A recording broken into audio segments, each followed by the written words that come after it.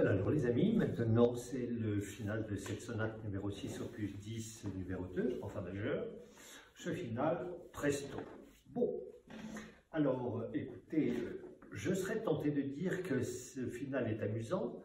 Malheureusement, ce qui me retient de le dire, c'est qu'il est horriblement difficile à jouer.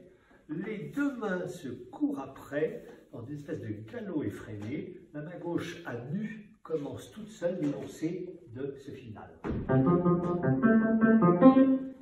Et la main droite va lui répondre. Et encore. Ce sont ces petites entrées fuguées qui vont créer l'excitation, évidemment, de ce, final qui commence d'ailleurs dans la nuance piano. C'est pas si simple à jouer euh, euh, un grand piano dans une grande scène. Il faut trouver le ton léger, mais avec cette espèce de légèreté beethovenienne qui ne laisse rien à la facilité. Il y a tout de même une forme d'autorité qu'il faut installer malgré justement l'apparente facilité et légèreté du discours. Cette exposition euh, dans la première page de cette sonate se termine, après euh, quelques petites gammes de, comment dire, de transition, se termine par des accords répétés dans le grave,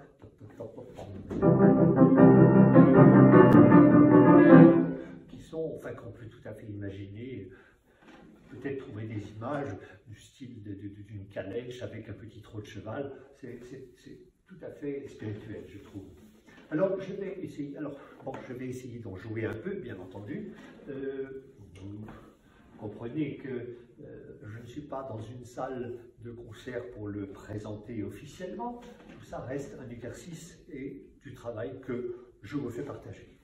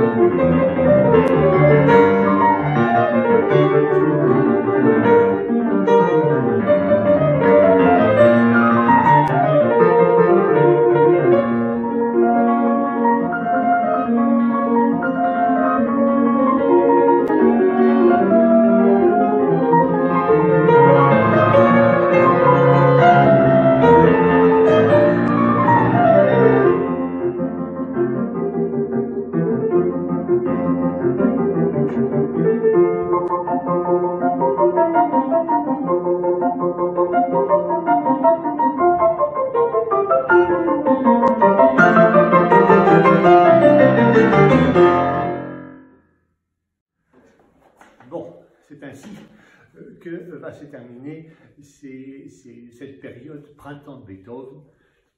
Et puis, eh bien, je vous donne rendez-vous euh, dans quelques temps. Il faut quand même que je retravaille pour euh, vous présenter euh, la pièce que j'ai en tête, mais pas encore dans les doigts.